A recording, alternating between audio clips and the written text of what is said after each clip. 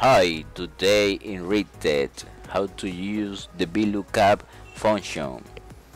Okay, uh, I have created this table and with the first column name and the second one last name, the third one age.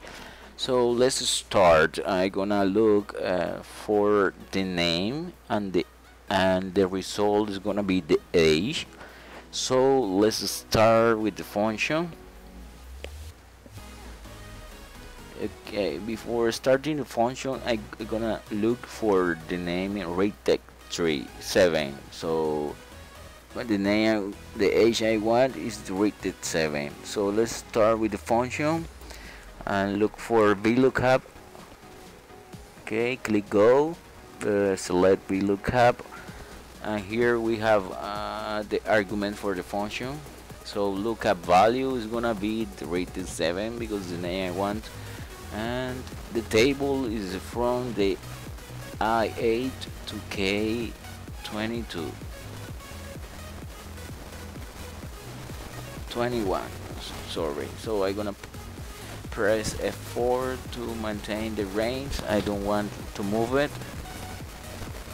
Uh, the column the column is gonna be uh, the third one.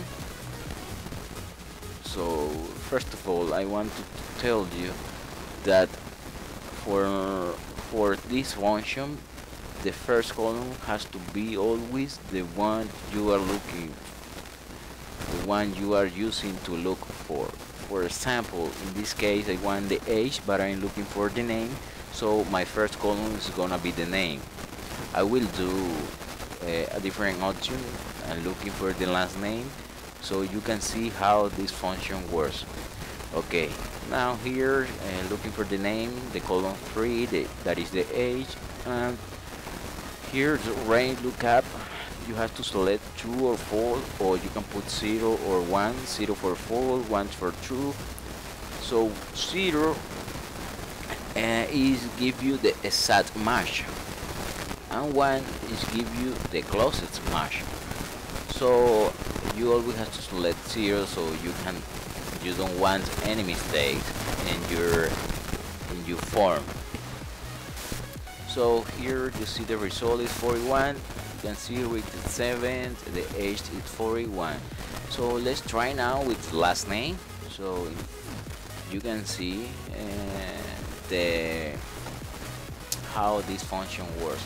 So I'm gonna look for production 5 and so let's click um, FF VLOOKUP okay they're gonna look for production 5 table range now is gonna start from J J6 to K21 so my first column is gonna be the last name because I'm looking for the last name okay let's put the same F4 and the column now is the second one because now my table has two columns only. So here let's put 0 again and you can see the result 60 okay so production 5 50 and rated 7 is 41 okay let's change this rated uh, 1 so rated 121 and um, production 16 is 30 you see this is working. I hope this video is helpful for you. And if you like it share it please. Bye bye see you